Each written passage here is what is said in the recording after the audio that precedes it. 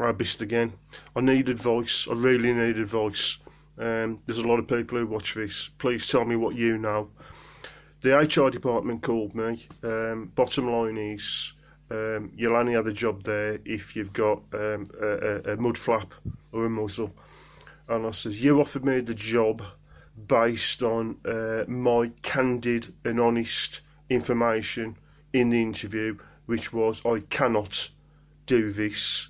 You accepted it, you verified it with the company occupational health nurse, you came back, you offered me the job, and now you're saying I've got to wear it. It's company policy. And I said, well, it may well be company policy, but if company policy was rape in the canteen, would that make it legal? And he got no answer for it. And I said, I'm not being arsey or clever or belligerent. I need the job. But you're forcing something here on me after offering me the job, and I've, I've been quite clear I can't do this. I says I can't do it. It's not for one one to trying. I've tried different ones. I simply can't do it. I says, have you?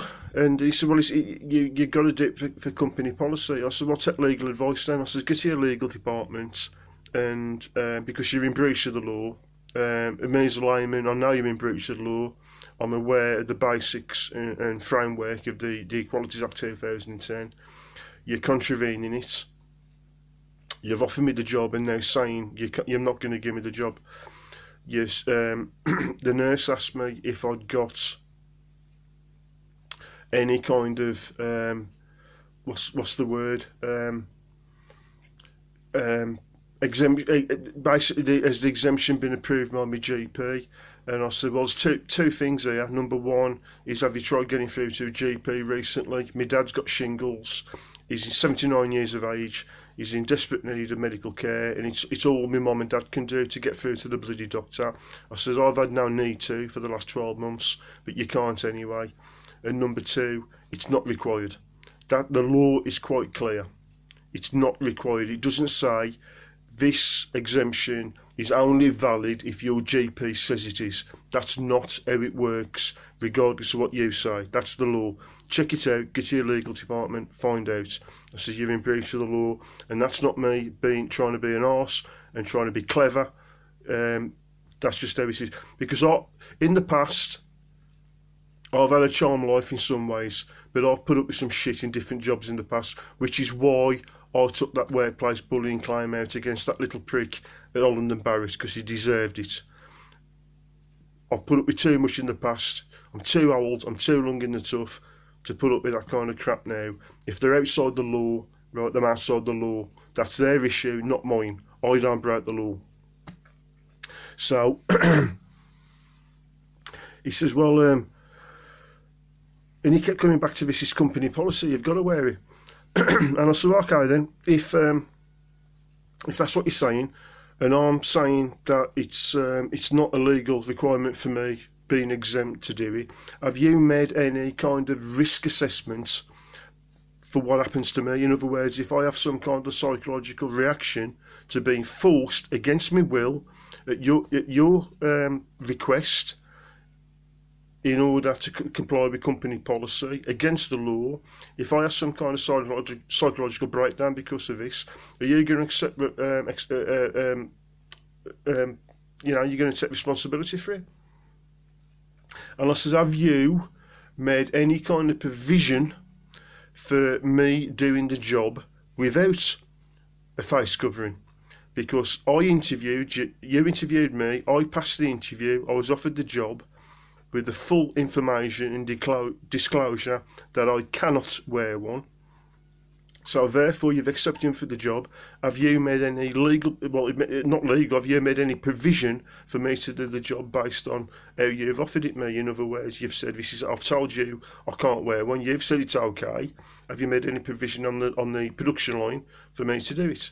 And that's why I'm doing this um, this shaming again, this um, this bullshit, this, this emotional blackmail.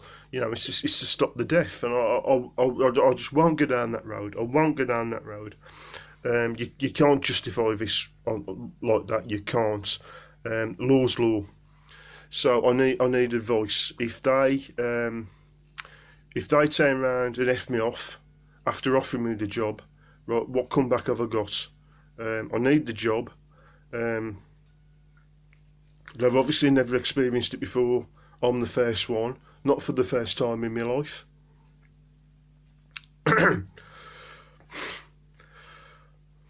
Help. Please, please put your comments below. Um, like I said, I, I, told them the truth. They offered it me, and I said it's okay.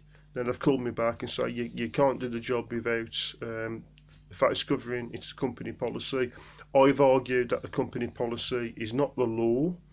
Um, they've made now provision um, for um, for that, and um,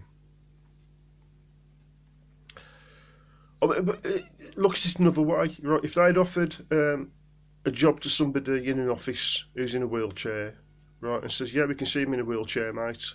Um, there ain't a problem. You can you can do the job. It's okay.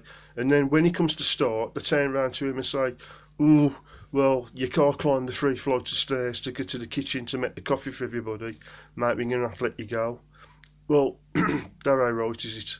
And it, it's certainly a bloody illegal.